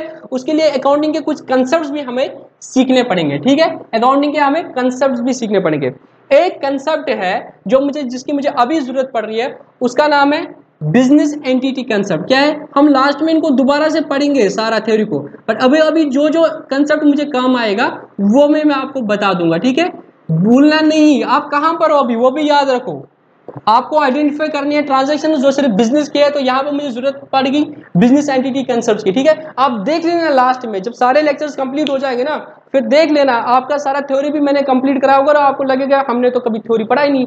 पढ़ाऊँगा वो भी लास्ट में बट उससे पहले, उसके वक्त ही आपको समझ आएगा कि हमने ये पढ़ लिया था, ठीक है? क्यों? मैं वहाँ पे आपको कंसेप्ट बताऊँगा जहाँ पे इसकी ज़रूरत पड़ेगी, ठीक है? यहाँ पे मैंने आपको बिज़नेस एंटिटी कंसेप्ट देखो अकाउंटिंग का बेसिक रूल ये है। आप जो अकाउंटिंग करोगे ना, आपको मैंने हायर कर दिया, आपको मेरे मेरे बिज़नेस की अकाउंटिंग करनी है, ना कि मेरी अकाउंटिंग करनी है। मेरा, मेरी लाइफ उस बिज़नेस को छोड़ के बाकी चीज़ें भी है, ठीक है? मैं क्रिकेट खेल रहा हूँ, मैं क्रिकेट की मैच फ़ी भी दे रहा हूँ, ठीक है? तो आप उसकी अकाउंटिंग करोगे? द आंसर इज़ नो आप अकाउंटिंग किसकी करोगे? जो बिज़नेस के ट्रांजेक्शन हो गए, ठीक है? जो मेरे बिज़नेस के ट्रांजेक्शन हो गए, ठीक है? सपोज़ वहाँ पर मेरा कोई मेरा भाई आया उसने बोला मुझे दस हज़ार रुपए दे दे। मैंने अगर उसको अपने जेब से दस दस हज़ार रुपए दे दिए तो दिस इज़ एन इवेंट फिर आप बोलोगे सर गिव एंड टेक तो हो गया ट्रांजेक्शन भी है बट क्या ये ट्रांजेक्शन बिज़नेस की है? नो no, ये ट्रांजेक्शन बिज़नेस की नहीं है क्योंकि मैंने उसको अपने पैसों से दे दिया अपने पैसों से अपने बाई को दे दिया। तो मेरा पर्सनल है बिज़नेस का कुछ इन्वॉल्वमेंट नहीं है। ठीक है? तो इसकी अकाउंटिंग नहीं होगी। अब दूसरी चीज़ देखो, अगर मैंने उसको बिज़नेस का वो रखो काउंटर जो है, जहाँ पे जहाँ पे कैश होता है, ठीक है कैश काउंटर है। अगर मैंने वहाँ से बोला अकाउंटेंट को दस हज़ार मेरे बाई को देते, तब बोलोगे, सर बिज़नेस की ट्रांजेक्शन है। क्यों? बिज़नेस का पैसा गया है। बट इसका क्या इंपैक्ट माना जाएगा कि ओनर ने बिज़नेस से पैसे वापस निकाले? जैसे ओनर पाप, वैसे, पैसे लगाता है बिज़नेस में, ठीक है? मैं एक और कंसेप्ट बोलता हूँ यहाँ पे, जिसकी, जो हमें आगे काम है कैपिटल जब भी कोई बिज़नेस स्टार्ट होता है, जब भी कोई बिज़नेस स्टार्ट होता है सपोज़ ये मेरा शोरूम है, ठीक है? ड्राइंग में मैं बहुत वीक हूँ, ठीक है? रेडीमेड गारमेंट्स का बिज़नेस है। मैंने डिसाइड किया, ये मैं हूँ, ठीक है? मैंने डिसाइड किया कि मुझे बिज़नेस करना है तो इसके लिए सबसे पहले मैंने क्या लगाओगे? इसमें कुछ इन्वेस्ट किया होगा ना, पैसे लगाए होंगे ना तो जब मैंने पाँच लाख रुपया से बिज़नेस स्टार्ट कर दिया। इस बिज़नेस में मैंने पाँच पाँच लाख रुपये लगा दिए तो आपको क्या करना है यहाँ पे अकाउंटिंग के लिए? मैं अलग हूँ बिज़नेस अलग है, हम सेपरेट है, ठीक है? आपको अकाउंटिंग किसकी करनी है? बिज़नेस की करनी है। किसकी करनी है? बिज़नेस की अकाउंटिंग करनी है। तभी हम बोलते हैं बिज़नेस में जो पैसा ये बंदा लगाएगा, इसका ओनर लगाएगा ये पाँच लाख, उसको हम कैपिटल बोलते हैं। क्यों? बिज़नेस अलग है और बिजनेसमैन अलग है। तो यहाँ पे भी जो तुम अकाउंटिंग करनी है, सबसे पहले तुमने आइडेंटिफाई करना है ट्रांजेक्शन ऑफ़ द बिज़नेस। जो बिज़नेस की ट्रांजेक्शन होगी, सिर्फ़ उन्हीं की अकाउंटिंग करनी है। तो बिज़नेस एंटिटी कंसेप्ट बोलता है हमें, बिज़नेस एक सेपरेट एंटिटी है। बिज़नेस अलग है, बिजनेसमैन अलग है। हम जो अकाउंटिंग करेंगे, हम बिज़नेस की अकाउंटिंग करेंगे, हम बिजनेसमैन की अकाउंटिंग नहीं करेंगे। वो अगर बिज़नेस में पैसा लगाएगा तो हम उसका एक अकाउंट बनाएँगे बिज़नेस में। बोलेंगे, भाई, तूने इतने पैसे बिज़नेस को दिए। जब तू वहाँ से निकालेगा पैसा, जैसे अभी इसने किया था, अभी क्या किया था इसने? अभी इसने भाई को बिज़नेस में से दस हज़ार रुपए दिए थे हम बोलेंगे, तूने जो पाँच लाख रुपए लगाए थे ना तो इसमें से हम दस हज़ार माइनस करेंगे। अब बोलेंगे बिज़नेस में तेरा फोर लाख नाइनटी थाउज़ेंड है तो सबसे पहले हमने क्या किया? हमने आइडेंटिफाई कर दिया उन ट्रांजेक्शन को जो बिज़नेस किए। अब मैं एक एग्ज़ाम्पल देता हूँ, क्योंकि उस एग्ज़ाम्पल को ना मैंने कंटिन्यू कर देना है। आपकी इन चीज़ों को प्रोसेस को लेके। मैं एग्जांपल ले रहा हूँ कि हमने क्या किया है, एक प्रिंटर को परचेज कर दिया। बिज़नेस में ना हमें प्रिंटर की ज़रूरत पड़ी है। हमें समझ आया आप कंप्यूटराइजेशन का जमाना आ गया एक प्रिंटर की ज़रूरत पड़ रही है। हम जो मैनुअली अभी इन्वाइसेस दे रहे हैं, हम इन्वाइसेस वैसे नहीं दे, हम कंप्यूटर के थ्रू इन्वाइस निकालेंगे तो हमने क्या कर दिया? एक कंप्यूटर को परचेज कर दिया। एक सॉरी एक प्रिंटर को परचेज कर दिया, जिसकी कॉस्ट थी टेन थाउज़ेंड रुपीज़ क्या थी? तो हमने क्या किया? प्रिंटर को परचेज कर दिया। तो आपने सबसे पहले क्या किया कि ट्रांजेक्शन तो होगी, क्योंकि हमने प्रिंटर परचेज कर दिया, ठीक है? तो आपने ट्रांजेक्शन को सबसे पहले क्या किया? आइडेंटिफाई किया। आइडेंट ट्रांजेक्शन कौन सी होगी? परचेज ऑफ़ प्रिंटर इसको आप नोट कर देना, ठीक है? सबसे पहले तो अकाउंटिंग को जब हम स्टार्ट करेंगे, कैसे अकाउंटिंग का प्रोसेस हो जाएगा, सबसे पहले आपको क्या करना है? You have to identify the transaction of the business तो ऑब्ज़र्व करेंगे सारे इवेंट्स उसमें से सिर्फ़ ट्रांजेक्शन उन ट्रांजेक्शन को लोगे जो बिज़नेस के बिज़नेस की होंगी, ठीक है? जैसे मैंने आपको एग्जांपल दे दिया, हमने परचेज कर दिया प्रिंटर ठीक है? फॉर रुपीज़ टेन थाउज़ेंड ठीक है? यह हमने कर दिया, आपने बोला, सर हाँ यहाँ तो मुझे लग रहा है कि एक ट्रांजेक्शन होगी और ये बिज़नेस की होगी बिज़नेस के लिए हमने प्रिंटर को परचेज कर दिया है दस हज़ार रुपए में। उसके बाद मैं बोलूँगा, ठीक है ना बेटा, आपने समझ कर दिया ना, पहली चीज़ आइडेंटिफाई कर दी। अब आप पहला चीज़ तो ट्रिगरिंग पॉइंट हो गया कि आइडेंटिफाई तो हो गया कि एक ट्रांजेक्शन होगी अब आप बहुत वो हो रहे हो। एक्साइट हो रहे हैं कि आज मुझे पहली अकाउंटिंग आज मुझे मिल गया वो पहली चीज़ जिसकी मुझे अकाउंटिंग करनी है। अभी तक तो आप सिर्फ़ ऑब्ज़र्व कर रहे हो। अब पहली चीज़ तो हो गई आइडेंटिफाई ट्रांसलेट अब हम मुझे बोले सर, मुझे जल्दी जल्दी बताना मुझे तो नहीं बोल रहे मैंने आपको बोला उस अकाउंटेंट को तो उस अकाउंटेंट को बोल रहे हो आप, सर सर, आगे क्या करना होगा, आगे क्या करना होगा? वो बोल रहा है, आप ना, वो बोल रहा है, ठीक है ना अब बेटा इसको काम करो ना, इसको क्या करो तुम मेजर करो। क्या करो? मेजर करो। पहले क्या कर दिया? आइडेंटिफाई कर दिया। अब बोल रहा है मेजर करो। अब बोल रहा है, सर मेजर का मतलब क्या है? मेजर का मतलब क्या है? तो वो बोल रहा है, इसको क्वांटिफाई करो। क्या करो? क्वांटिफाई करो। In monetary terms quantify in monetary terms मतलब इसमें देखो मनी में, क्योंकि हम जो अकाउंटिंग करेंगे, उन ट्रांजेक्शन करेंगी उन ट्रांजेक्शन की करेंगे। लास्ट में ना, जब आज का लेक्चर कंप्लीट होगा, मैं आपको अकाउंटिंग की डेफिनेशन बोलूँगा। क्या बोलूँगा? अकाउंटिंग की डेफिनेशन और देखूँगा, क्या हमने वो सारी चीज़ें कर दी है? क्या जो हम अकाउंटिंग कर रहे हैं, उसको फुलफिल कर रही है? अगर मैं डायरेक्टली आपको पहले अकाउंटिंग बोलता ट्रेडिशनल वे में जैसे पढ़ाते हैं accounting art of recording class में समझ बोला क्या यार आर्ट है। हम तो आर्ट छोड़ गए थे, यहाँ बोल रहे accounting is science account art तो मैं उस उस टेंशन में आपको बिल्कुल नहीं ले रहा हूँ, ठीक है? मैं आपको एक एग्ज़ाम्पल के तरीके समझाऊँगा लास्ट में उस डेफिनेशन को करके तो मैंने क्या बोला आपको? क्या करना है आपको? सबसे पहले आइडेंटिफाई कर दिया ट्रांजेक्शन को। ट्रांजेक्शन को आइडेंटिफाई कर दिया purchase of printer for rupees ten thousand उसके बाद उसके बाद क्या करना है? क्वांटिफाई करना इनको मोनिटरी में। मतलब इसमें देखो कितना पैसा इन्वॉल्व हो गया, क्योंकि तुम जो अकाउंटिंग करोगे सिर्फ़ उन ट्रांजेक्शन करोगे जो फाइनेंशियल नेचर के होंगे, जिनमें मनी इन्वॉल्व होगा। अगर कोई ट्रांजेक्शन ऐसी हुई होगी जिसमें मनी इन्वॉल्व नहीं है तो उसकी अकाउंटिंग हम नहीं करेंगे। अगर कोई इवेंट ऐसा हुआ है जिसमें मनी का कोई इन्वॉल्वमेंट नहीं है तो हम उसकी अकाउंटिंग नहीं करेंगे। कैसे? एग्ज़ाम्पल हमने स्टाफ को हायर कर दिया। जैसे आपको मैंने लाया आप कितने काबिल हो? आप कितने काबिल हो? मैंने आपको रिक्रूट कर दिया, ठीक है? तो मैं क्या इसकी कोई अकाउंटिंग करूँगा? इवेंट तो हो गया है ना? तो क्या मैं इसकी अकाउंटिंग करूँगा? द आंसर इज़ नो ठीक है? कोई लड़का बहुत मेहनत करता है, मेरा सेल्समैन बहुत मेहनत करता है तो क्या मैं इसकी अकाउंटिंग करूँगा? द आंसर इज़ नो क्योंकि ये मॉनिटरी टर्म में मैं इसको मेजर नहीं कर सकता हूँ, ठीक है? तो क्वांटिफाई करो इसको मॉनिटरी टर्म में। मॉनिटरी टर्म में यहाँ पे तुमने क्वांटिफाई कर दिया? सर हाँ मॉनिटरी टर्म में ये क्वांटिफाई हो रहा है। एक दस हज़ार का प्रिंटर ले लिया हमने। प्रिंटर का हमने दस हज़ार का रुपया ले लिया। और और क्या हुआ? कैश मेरा दस हज़ार का चला गया। हमने कैश में परचेज कर दिया। तो कैश काउंटर से अकाउंटेंट ने दस हज़ार रुपया दे दिए उसको, जिसने ये लाया था। और हमारे पास प्रिंटर आ गया। सर, हमने इनको क्वांटिफाई कर दिया मॉनिटर्स में। अब आप बोल रहे हो, सर, आगे बताओ आगे बताओ, क्या करना है? मैं बोलूँगा, अब इसको ना तुम रिकॉर्ड करो। क्या करो तुम लोग? क्या करोगे? रिकॉर्ड करोगे? क्या करोगे? रिकॉर्ड करोगे? रिकॉर्ड का मतलब अब इसकी अकाउंटिंग करोगे तुम बुक्स में, ठीक है? तो हमारा जो फोकस रहेगा, हम बहुत जल्दी क्वेश्चन के इस रिकॉर्डिंग पे आ जाएँगे। क्या करेंगे? हम इसको अपने बुक्स में रिकॉर्ड करेंगे। रिकॉर्ड हम करते हैं in the form of journal क्या करते हैं? In the form of journal हम इसको, एक तो ना, अगर तुम घर में लाओगे, तुम क्या करोगे? हमने प्रिंटर लाया, खर्चा हो गया प्रिंटर ठीक है? और कैश था, इतना अब कैश चला गया। बट यहाँ पे हम क्या करते हैं? इसको प्रॉपरली रिकॉर्ड करते हैं बुक्स में in the form of journal हम इस ट्रांजैक्शन की एक जर्नल एंट्री करते हैं। तो आगे हम पढ़ेंगे जर्नल के रूल्स क्या पढ़ेंगे?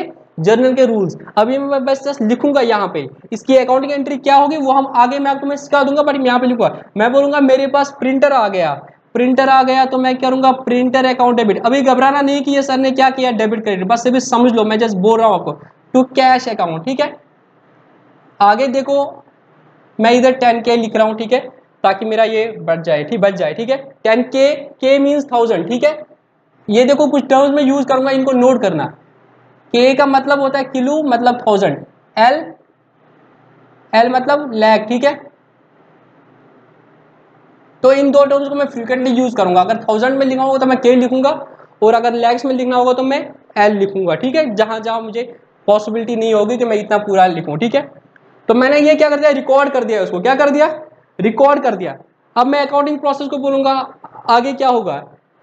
पहले क्या किया? आइडेंटिफाई कर दिया ट्रांजेक्शन को। उसके बाद क्या कर दिया तुमने? उसको मेजर कर दिया मॉनिटरी टर्म्स में, ठीक है? उसके बाद क्या कर दिया उसको? रिकॉर्ड कर दिया। क्या कर दिया? रिकॉर्ड कर दिया, ठीक है? तो आपने पहले अपनी एक बुक्स होती है हम, ठीक है? जर्नल बुक्स उसमें तुमने इसको क्या कर दिया? रिकॉर्ड कर दिया, ताकि मुझे भूल ना जाए बाद में भी क्या हुआ। जो ही ये ट्रांजेक्शन प्लेस होगी, तुमने एक एंट्री कर दी printer account debit to cash account कैसे करते हैं? इसका रूल क्या है? वो मैं आगे सुनूँगा। बट याद रखो प्रोसेस में हम क्या करते हैं इसको फिर? आइडेंटिफाई मेजर रिकॉर्ड उसके बाद क्या करते हैं? रिकॉर्ड के बाद रिकॉर्डिंग के बाद हम इसको क्या करते हैं? क्लासिफाई करते हैं। क्या करते हैं? क्लासिफाई करते हैं। क्लासिफिकेशन करते हैं। ठीक है? रिकॉर्डिंग फिर हम क्या करते हैं? क्लासिफिकेशन देखो, अभी तो मैंने इसकी एग्ज़ाम्पल दी प्रिंटर की, ठीक है? और कैश की। इसी तरह से बहुत सारी ट्रांजेक्शन होती है बिज़नेस में। सेल दिन में 10-12 बार हो सकती है परचेज महीने में 10-15 बार हो सकती है, ठीक है? इसी तरह से अपने स्टाफ वेलफेयर जो खर्चा करते हैं वो हर दिन हो सकता है। रेंट हो गई, सर, ये बहुत सारे खर्चे होते हैं। तो हम इन क्या करते हैं? बहुत सारी ट्रांजेक्शन होती है। हम इनका हर एक का अपना अपना खाता बनाते रखते हैं, ठीक है ना? अपना अपना अकाउंट बना के रखते हैं, ठीक है? उनको क्या बोलते हैं? क्लासफाई करते हैं। ये जो ट्रांजेक्शन जितनी भी होगी, हम इनके अपने अपने अकाउंट्स बना के रखते हैं। तो एक अकाउंट होगा हमने, एक तो इसको क्या करते हैं हम? लेजर में डालते हैं। क्या डालते हैं? लेजर में डालते हैं। तो हमारा एक बनेगा लेजर प्रिंटर अकाउंट बनेगा। क्या बनेगा हमारा? प्रिंटर अकाउंट बनेगा। तो रिकॉर्डिंग के बाद हमें क्या कर रहे हैं? जितने भी ट्रांजेक्शन पूरे दिन में हो गई, उनको हमने जर्नल में नोट कर दिया। जैसे परचेजेस दिन में दो बार हो गई। तो तुमने परचेज बुक में लिख दिया। सेल सपोज़ क्रेडिट में हो गई अभी मैं ये बोल रहा हूँ, दस बार हो गई, ठीक है? सैलरी एक बार हो गया। एक्सपेंसेस दो तीन तरह के हो गए, ठीक है? तुम क्या करोगे फिर इनको? अपने अपने लेजर्स में ले जाओगे, ठीक है? कैश को कैश अकाउंट में लोगे प्रिंटर को प्रिंटर अकाउंट में लोगे, ठीक है? इनका अपना अपना खाता होगा different page of the book में, ठीक है? लेजर में, अपने अपने खाते होंगे तो उन खातों में तुम उनको लोगे। क्लासफाई करते हो ना? कि ये इधर जाएगा, उधर जाएगा। जब तुम घर में कोई चीज़ लाते हो, ठीक है? फिर क्या करते हो? क्लासफाई करते हैं ना, तुम्हारे घर में मम्मी भी क्लासफाई करती है ना, कि ये कहाँ पे है, ये बर्तन कहाँ पे रहेंगे, वो बर्तन कहाँ पे रहेंगे, खाने वाली चीज़ें कहाँ पे, मसाले कहाँ पे रहेंगे तो वो क्या करते पहले तो सारा स्टॉक लाया, फिर उनको क्या करते हो क्लासफाई करते ना, इसी तरह से हमने जितने भी ट्रांजेक्शन की जर्नल एंट्री की तो वो एक ही जगह पड़ी है। अल्टीमेट हमारा गोल कुछ है, हमें इस लैंग्वेज से ऐसे रिज़ल्ट डिराइव करने हैं, जो इसी लैंग्वेज में हमें समझ आ जाएँगे, ठीक है? तो इसीलिए क्या करोगे, जितने भी ट्रांजेक्शन उनको पहले एक जगह रिकॉर्ड करो, उसके बाद क्या करो आप, जहाँ जहाँ पे उनको प्लेस जिस जहाँ से प्लेस करते हैं, उनको अपने अपने खातों में ट्रांसफ़र कर लो। अब आप बोलोगे, सर, पहले क्यों नहीं करते? पहले भी हम करते हैं। थ्रू जर्नल एंट्री करते हैं बट ये तुम्हें आगे समझ आएगा। हम क्या करते हैं? हमें लगता है कुछ खाते ऐसे जिनमें ट्रांजेक्शन फ्रीक्वेंटली होती है। जैसे परचेजेस है सेल्स है, जो रूटीन नेचर की है, ये तो बहुत बार होती है। तो हम क्या करते हैं? इनकी डायरेक्टली जर्नल जर्नल बुक नहीं बनाते। जर्नल एंट्री करते हैं जर्नल एंट्री ये जो एंट्री करते हैं बट डायरेक्टली उनके अकाउंट में पोस्ट करते हैं। तो हम एक परचेज बुक बनाते हैं, जहाँ पे हम जितने भी क्रेडिट परचेज हो गए उधार ही में, मैंने दो चीज़ें जो आगे यूज़ करूँगा क्रेडिट और कैश कैश मीन्स नकदी और नकद में, और क्रेडिट मीन्स उधार में। उधार, लिखा होता है ना, उधार लेना मना है, या क्रेडिट इज़ नॉट अलाउड ठीक है? उधार में। अगर मैं उधार में परचेज करता हूँ तो वो परचेज में रखता हूँ परचेज बुक में रखता हूँ सेल्स बुक रखता हूँ, कुछ पाँच छह बुक्स रख लेता हूँ, ठीक है? जो, जहाँ पर रूटीन नेचर की होती है। बाकी को मैं एक जर्नल बुक में रखता हूँ बट जर्नल एंट्री हर किसी होती है। मतलब रिकॉर्डिंग जो हमारी होगी ना, वो in the form of journal होगी। एक अकाउंट को डेबिट करेंगे, एक अकाउंट को क्रेडिट करेंगे, या जितना अमाउंट का डेबिट करेंगे, उतने अकाउंट का क्रेडिट करेंगे, वो तुम आगे समझ जाओगे। तो हमने क्या क्या? रिकॉर्ड कर दिया और अगर हमने इनको जनरल बुक में कर दिया, उसके बाद हम इनको क्लासीफाई करेंगे शाम को कि कौन से किस्त में है तो उसको अपने अपने खाते में डाल देंगे। सपोज़ अभी तक क्या हुआ, उसने मेरे से परचेज उधार में ले लिया तो मैंने क्या कर दिया, उसको, उसका नाम मेंशन कर दिया कि इसने इतने पैसे में ले लिया। शाम को मैं जो उसका खाता होगा ना ट्रेडिशनली भी अगर तुम देखो किसी दुकानदार के पास जाओगे, जो उधार में भी बेचता है और उसको पता है कि ये मेरे नून कस्टमर है तो वो पहले ना एक ही बुक पे लिख लेता है, इसने इतना तेल लिया, इसने ये ले लिया। शाम को वो उसके खाते में डाल देता है। वो भी क्या करता है? क्लास पे करता है। तो हम भी वही चीज़ करेंगे। पहले दिन भर डालते रहेंगे एक ही जगह, ठीक है? क्योंकि साथ साथ में डालेंगे तो बहुत टाइम लगेगा। तो हम क्या करते हैं? उधर नोट करके रखते हैं। फिर शाम को उसको उसके खाते में ले लेते हैं, ठीक है? तो हमने क्या कर दिया उसको? रिकॉर्ड कर दिया। उसके बाद क्लासीफाई कर दिया। उसके बाद हम क्या करते हैं? समराइज करते हैं। क्या करते हैं? समराइज करते हैं। ठीक है? ये नोट कर दिया समराइज समराइज में हम क्या करते हैं? अब देखो, पूरे मंथ का ले लो। मेरी पूरे मंथ की सेल्स जो है ना 300 बार हो गई है। 300 ट्रांजैक्शन ऑफ़ सेल हुई है। मेरी परचेजेस पच्चीस बार हो गई है, ठीक है? क्योंकि मैं परचेज बल्क में दे रहा हूँ, ठीक है? रेंट एक बार हो गई इलेक्ट्रिसिटी एक बार हो गई, ठीक है? ऐसे ऐसे होता जाता है इसी तरह से साल में कितने हो गए इंटू तो लगा लो, साल के बाद या मंथ के बाद हम क्या करते हैं? इनको समराइज करते हैं। तो मैं सेल्स अकाउंट जो होगा मेरा, जो मेरा सेल्स अकाउंट होगा, मैं एग्ज़ाम्पल देता हूँ, ये मेरा सेल्स अकाउंट है, ठीक है? क्या है मेरा? Sales account. तो यहाँ पे मैं देख रहा हूँ, उसको मैंने सेल कर दिया, ठीक है? मिस्टर एक्स को सेल कर दिया वाई को जेड को, इतना इतना करके मैं देख रहा हूँ, कैश में मैंने इतना कर दिया। और मैं देख रहा हूँ, मैंने पूरे साल में क्या किया है? सपोज़ 25 लाख की मैंने सेल कर दी है। या मैं ऐसे लेता हूँ 30 लाख की मैंने सेल कर दी है। तो मैंने क्या कर दिया इनको? टोटल कर दिया ना? ये तो मैंने क्या कर दिया पहले? इधर रिकॉर्डिंग हुई होगी। उसके बाद उनको लेजर में क्या किया? सेल्स अकाउंट में लिया होगा। जितने भी ट्रांजेक्शन हुए होंगे, उनको जर्नल से उठा के लेजर में ले लिया। और साल के बाद में बोलता हूँ, इनको समरी में टोटल में बोलता हूँ, कितना हो गया तीस लाख। क्या बोलता हूँ? तीस लाख। तो हम क्या करते हैं? एक स्टेटमेंट बनाते हैं। क्या बनाते हैं हम फिर? एक स्टेटमेंट बोल, करते हैं, बनाते हैं, जिसको हम बोलते हैं ट्रायल बैलेंस क्या बोलते हैं उसको?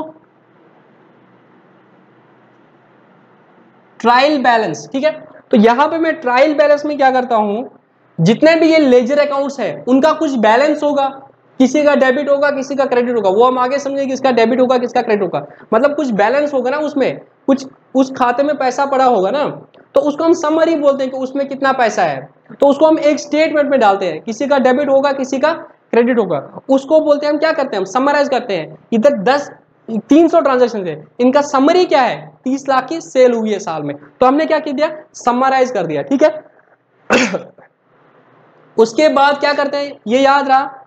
तो मैं इसको रब कर रहा हूँ, ठीक है? तो इनको इनको नोट करके रखो, ठीक है? तो हमने क्या कर दिया सबसे पहले? आइडेंटिफाई कर दिया। उसके बाद क्या कर दिया? मेज़रमेंट कर दिया मॉनिटरिंग में। उसके बाद क्या कर दिया? रिकॉर्ड कर दिया। उसके बाद क्या किया? Ledger account printer account printer account ठीक है? तो प्रिंटर अकाउंट में फिर क्या हुआ?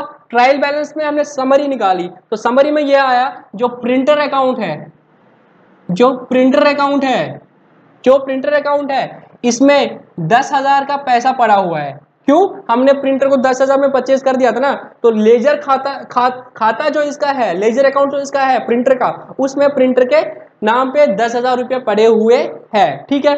अब हम क्या करेंगे? ट्रायल बैलेंस के बाद मैं ये रब कर रहा हूँ ये टर्म्स अभी मैं आपको सेकंड हाफ़ में ये डिस्कस करता हूँ, ठीक है?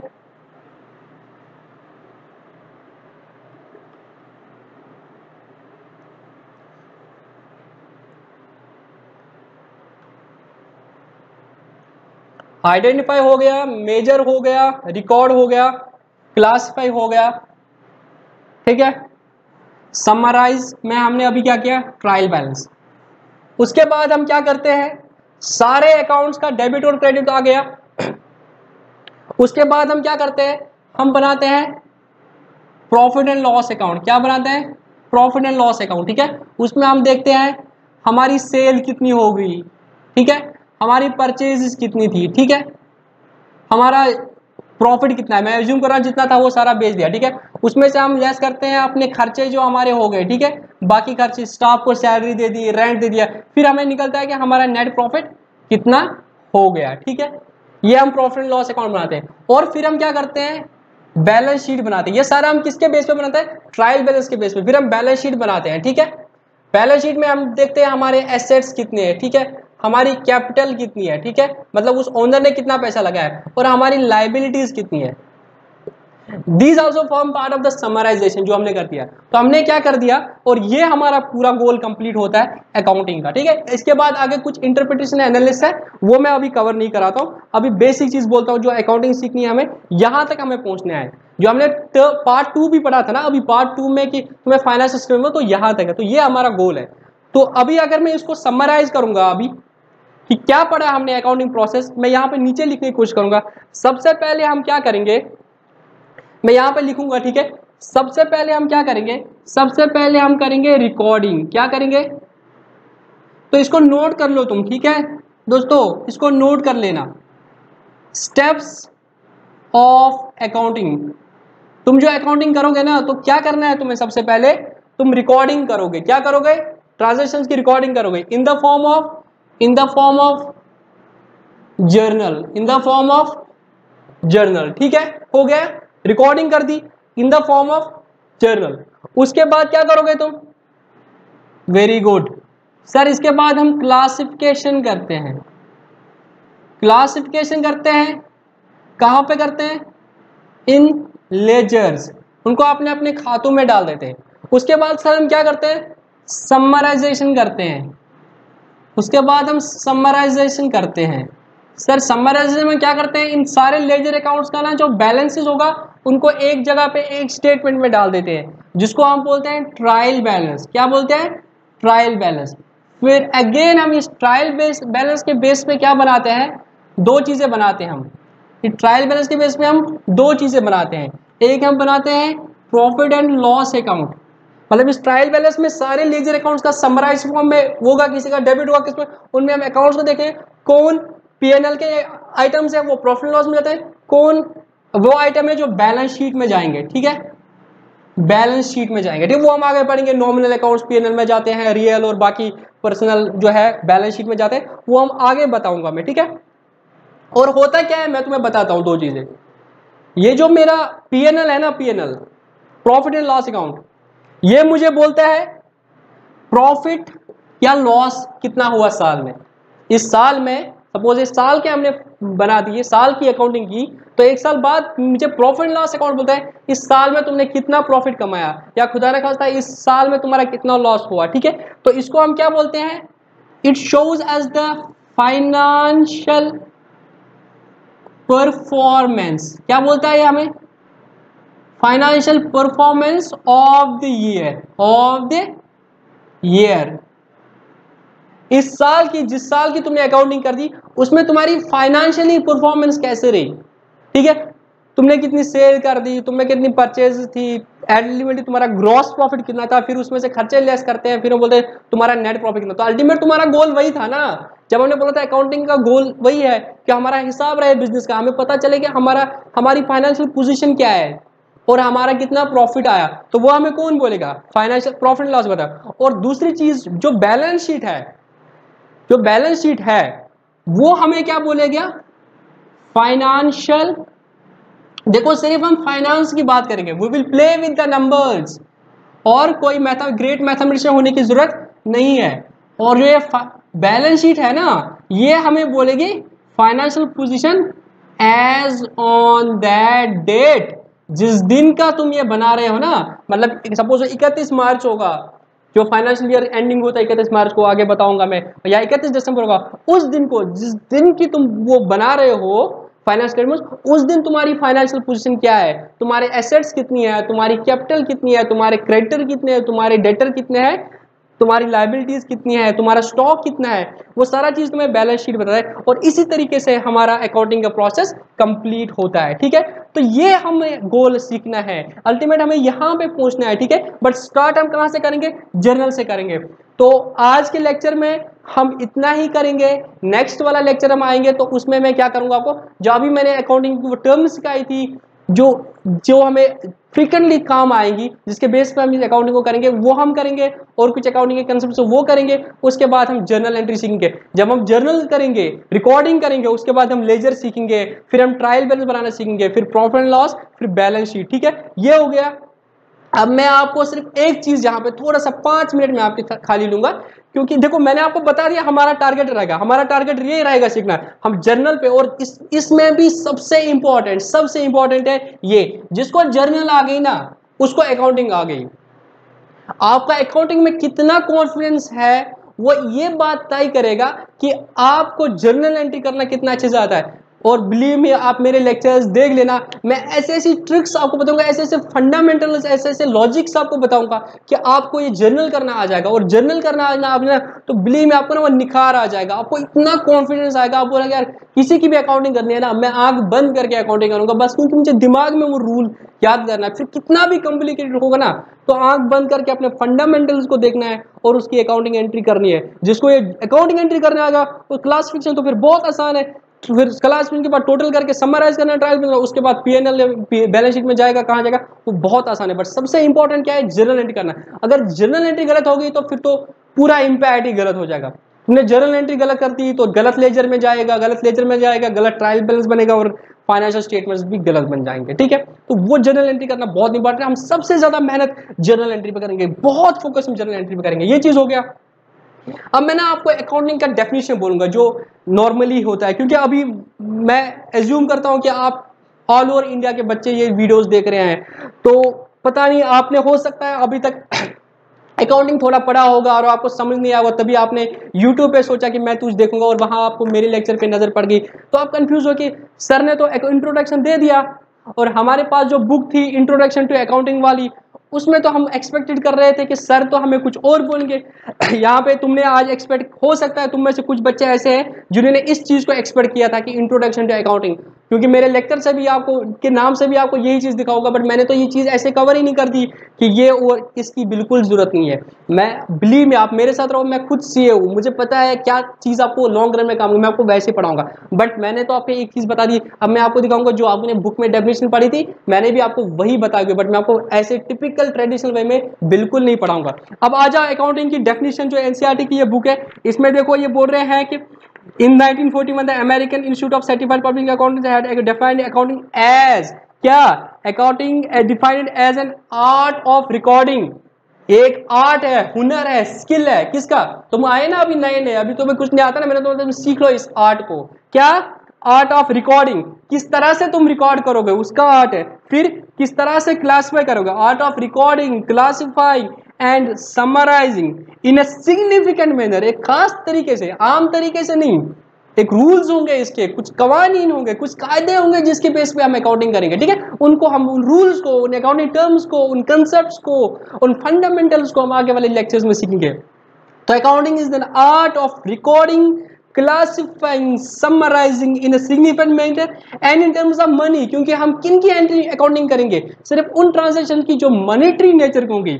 ट्रांजेक्शन एंड इवेंट्स इवेंट्स और ट्रांजेक्शन वो जो मनीटरी टर्म्स के होंगे which are in part at least of financial character ठीक है? And interpreting the results clear of interpreting the results बाद वाली बात है। हम अभी बैलेंस शीट तो करेंगे वहाँ के बाद फिर रिजल्ट्स आते हैं कि तुमने देखा अगर सेल इतनी है प्रॉफिट्स इतने हैं प्रॉफिट क्यों कम हो गए प्रॉफिट क्यों बढ़ गए? रेशो एनालिस करेंगे। वो तुम ट्वेल्थ के सेकंड पार्ट में अभी तुम्हारा जो करिकुलम है, वहाँ करोगे। बेसिकली मैंने आज कल देखो, जो अकाउंटिंग की डेफिनेशन थी, वो मैंने तुम्हें बोल दी, ठीक है? इंट्रोडक्शन अकाउंटिंग चैप्टर में अगर अभी देखेंगे, मैंने तुम्हें ये चीज़ बता दी। Identify measurement requirement communication communication क्या होता है, वो मैं आगे बताता हूँ, ठीक है? जो हमारे यूज़र थे, वो बेसिक चीज़ मैंने कवर कर दी इसकी ठीक है? कल मैं आपको अकाउंटिंग के कुछ कंसेप्ट बोलता हूँ, वो टर्म्स बोलता हूँ रूल्स बोलता हूँ सॉरी मैं आपको बताता हूँ फिर, कल के चैप्टर में हम क्या, कल के लेक्चर में हम जो टर्म्स अकाउंटिंग में होते हैं एनटीटी का मतलब ट्रांजैक्शन एसेट लाइबिलिटी इनको हम पढ़ेंगे, इनको अंडरस्टैंडिंग करेंगे, उसके बाद फिर हम जर्नल एंट्री पे आएँगे और साथ में कुछ कंसेप्ट करेंगे, ठीक है? आज के लिए इतना ही, ठीक है? Bye bye